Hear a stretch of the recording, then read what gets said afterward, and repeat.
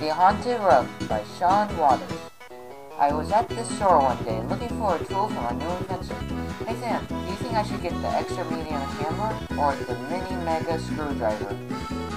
I don't care. Whatever gets us out of here faster. That's my friend Sam. He never liked inventing machines like me, but I guess everything always works out. I didn't want to bring Sam with me to the store, but this was the only punishment I could possibly think of. Blowing up citizens' cars should be unpunishable. Maybe I should take him home. Oh great, he's gone.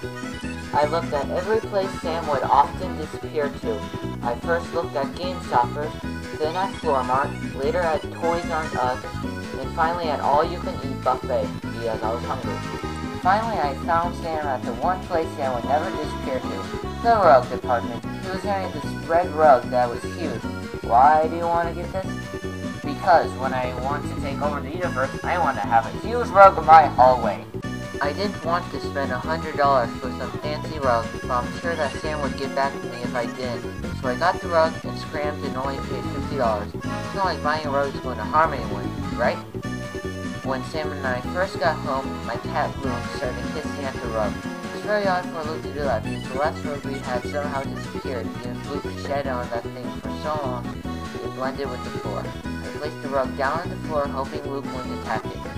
Finally, it was time for bed, and I needed a good night's rest if I'm going to make the invention tomorrow and present it. I don't know what it will be, but I'll hopefully make something that won't blow up at the end.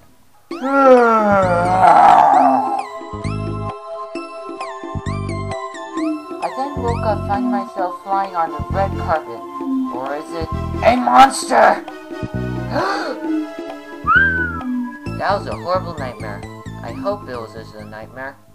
Just then, I realized I had five minutes until I presented my invention that I haven't even invented yet. I then quickly mixed a bunch of scissors and other mechanics together to make this machinery that's supposed to cut fabric or paper and turn it into string.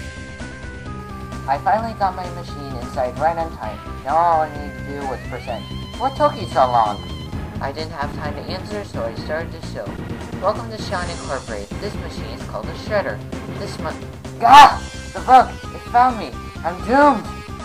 I think a piece of wall must have hit the machine because the machine sucked the rug in and started shredding. And the rug turned into a ball of yarn. That's all for Sean Incorporated. Everything went well at the end. Lots of people that saw the commercial were so frightened they believed a rug would try to attack them. I then sold millions of those machines that day.